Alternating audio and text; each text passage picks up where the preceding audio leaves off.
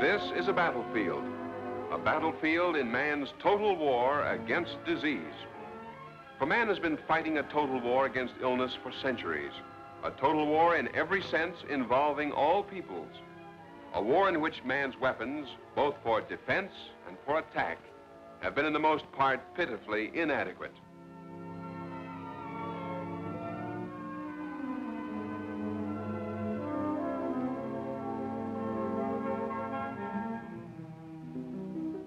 Certain means for defense have existed now for some time, but it was only recently that we found what appeared to be a successful pattern for the production of offensive weapons against man's most terrifying enemy, the disease-causing bacteria.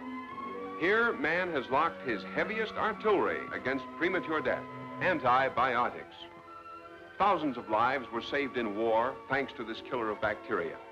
Thousands of men spared crippling amputation Wartime necessities speeded up research and production of antibiotics, and all of mankind benefited from it. This child, infected with impetigo, only a short time ago would have had to suffer for weeks, for medical science was almost powerless against the bacteria which cause skin infections of this sort. Now she will be healed in a few days. This student, hurt in play, infected afterwards, will be in school in a day or so with the help of these miraculous drugs. This young woman, now still breathing heavily under an attack of pneumonia, will be back with her family in a short time, thanks to the help from man's most successful microbe killers.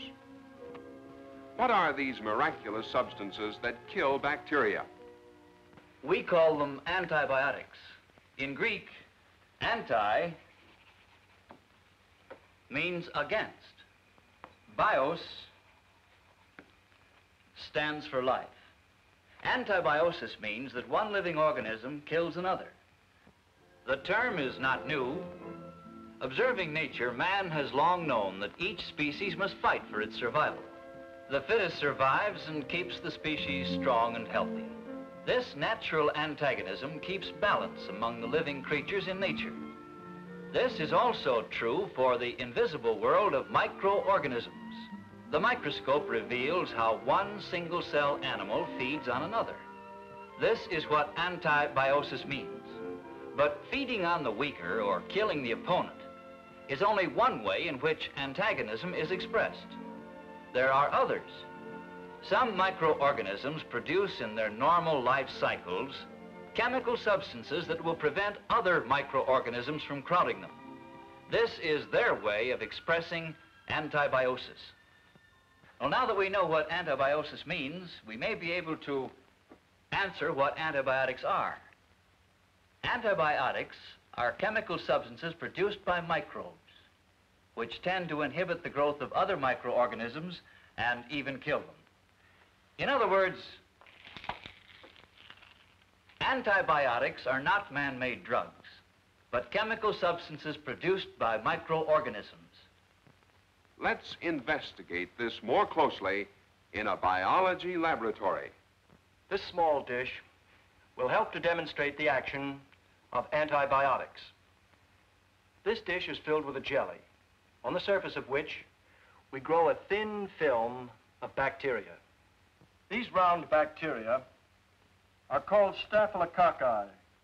These bacteria would multiply in the human body just as they multiply in the laboratory culture medium. An English physician, Dr. Alexander Fleming, interested in bacteriology, uh, worked with a similar culture of staphylococci, but inadvertently, a speck of dust fell into the dish, carrying a mold belonging to the family of molds called penicillium. We have put such a mold into this dish ourselves.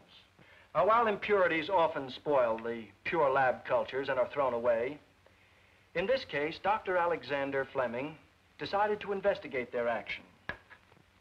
Several days later, he noticed what we're seeing now, namely that clusters of bacteria had spread all across the dish, but left a ring of clear jelly around the penicillium mold.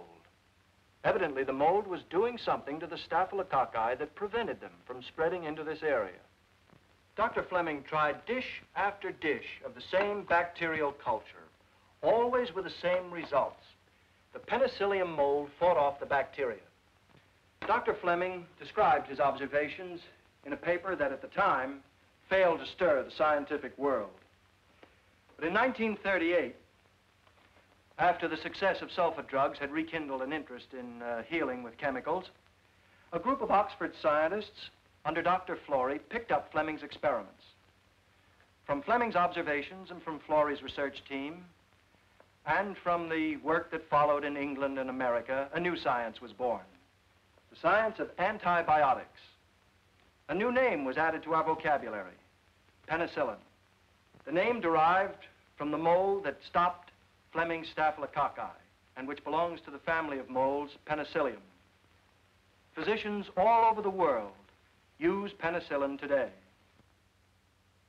Mm-hmm. That's very good. Her temperature's dropping. Fine. For this type of blood poisoning, penicillin is a sure weapon.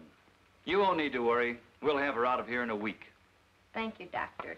Goodbye, honey.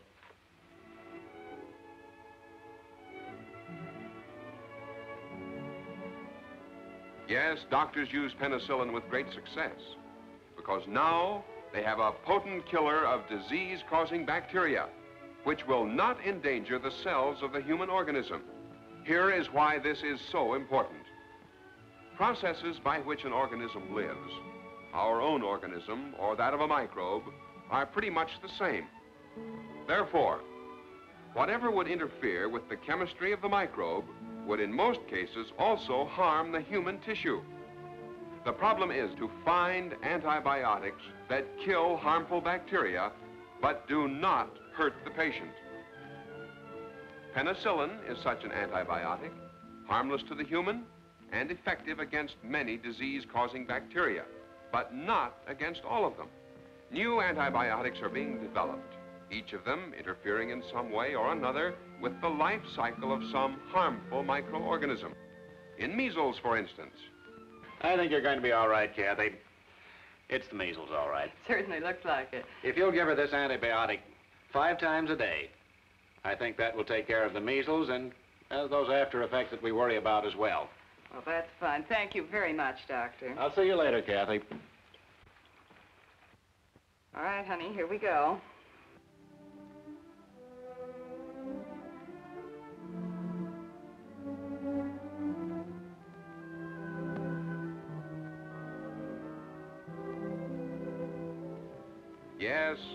Antibiotics fight against many kinds of bacteria, each affecting some microorganisms in some special way. For instance, one group of antibiotics interferes with the ability of the microorganism to use up food to produce energy. While there is food in abundance all around the microorganism, its ability to use up the food is impaired.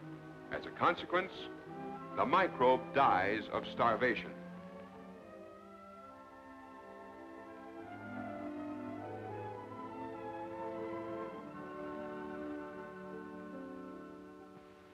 Another group of antibiotics acts upon the thin membrane which envelops the cell and dissolves it. The microorganism practically falls apart under the attack. Penicillin belongs to a third group of antibiotics which probably interferes with the ability of the cell to reproduce. Bacteria and other simple microorganisms reproduce by dividing. A mature cell produces two identical cells by division. These cells mature and divide again, thus multiplying the species. In the presence of penicillin, cells of bacterial microorganisms grow to maturity, then continue to grow but fail to divide. Eventually, the cells outgrow their own ability to live, and they die.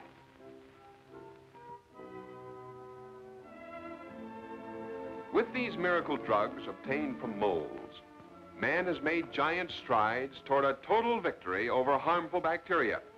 And because many molds have their origin in the soil, a new research specialist came into prominence. The soil specialist known as the mycologist. Mycologists develop strains of pure molds, yeasts, actinomycetes, and hosts of other microorganisms. They guide them through their short life cycle and try to influence their life habits in such a way that they produce chemicals which can be utilized for the benefit of man. Thousands of mold cultures like these are studied in research centers. Once the right kind of microorganism has been found, it is isolated and pure strains are reproduced. Next, the pure culture goes to the fermentation chemists. They multiply the microorganisms by the hundreds of millions by providing them with a place to spread and with the best food. This ensures rapid growth and encourages them to produce the desired antibiotics. Then other specialists take over until the pure drug is obtained. Antibiotics, the miracle drugs of our time.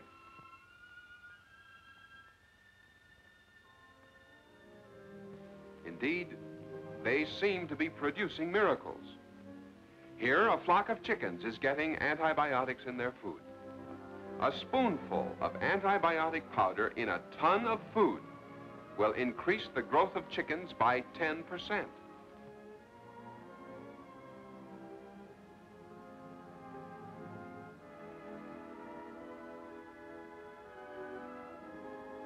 Similar experiments with pigs are showing even greater promise.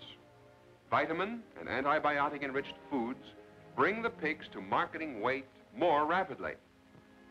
By feeding the piglets antibiotics milk, they are weaned away from the mother after three to six days. In this way, the productivity of the sow can be doubled and runts and orphan pigs bottle fed to maturity. New industrial products have grown out of this experimental work. Millions of tons of chicken and swine feed fortified with vitamins and antibiotics are sold to successful farmers and poultry raisers all over the country. In a world of never-ending food problems, this is an important development. Thus, antibiotics produced by living microorganisms help mankind in the fight against hunger and in the fight against disease. Antibiotics give the doctor the heavy artillery to fight and conquer pneumonia, to fight successfully deadly meningitis, to attack various streptococcus infections. But all the heavy artillery against the onslaught of disease has not yet been produced.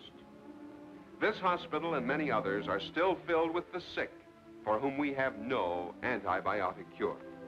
Therefore, research cannot stop. The era of antibiotics has just begun. Every day we are coming closer to a time when we will understand more clearly what goes on inside the minute chemical workshops of the cells. Every day we are widening the horizons of knowledge in the quest for a better, healthier, and happier future of mankind.